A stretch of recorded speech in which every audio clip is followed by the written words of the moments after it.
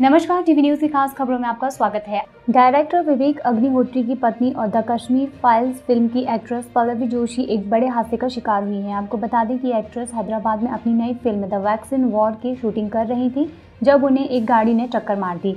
पल्लवी जोशी के साथ यह हादसा कैसे हुआ, वो फ़िलहाल किस हालत में है और उनका इलाज कैसे चल रहा है, आपको सब बताते हैं। जैसा कि हमने आपको अभी बताया था, कश्मीरी फाइल्स फ़िल्म की एक्ट्रेस और फ़िल्म की डायरेक्टर विवेक अग्निहोत्री की पत्नी, एक्ट्रेस पल्लवी जोशी को उनकी नई फ़िल्म द वैक्सीन वॉर के फ़िल्म सेट पर एक गाड़ी ने टक्कर मार दी।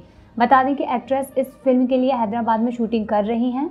मीडिया रिपोर्ट्स का यह कहना है कि यूनिट सोर्सेज ने बताया है कि एक गाड़ी कंट्रोल खो बैठी, जिसके चलते उसने एक्ट्रेस पल्लवी जोशी को ही टक्कर मार दी। बता दें कि पल्लवी जोशी को ज़्यादा चोटें नहीं आई हैं क्योंकि उन्होंने टक्कर लगने के बाद ही पहले शॉट दिया है और उसके बाद एक नज़दीकी अस्पताल में अपना इलाज करवाने गई। रिपोर्ट के मुताबिक अब पल्लवी जोशी काफ़ी बेहतर है और सौभाग्य से उन्हें ज़्यादा चोटें नहीं लगी हैं।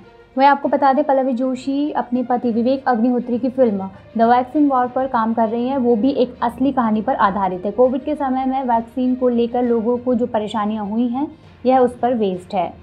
इस फ़िल्म में अनुपम खैर और नाना पाटेकर अहम भूमिका में निभा रहे हैं। और भी खास खबरें जानने के लिए जुड़े रहें डीवी न्यूज़ में।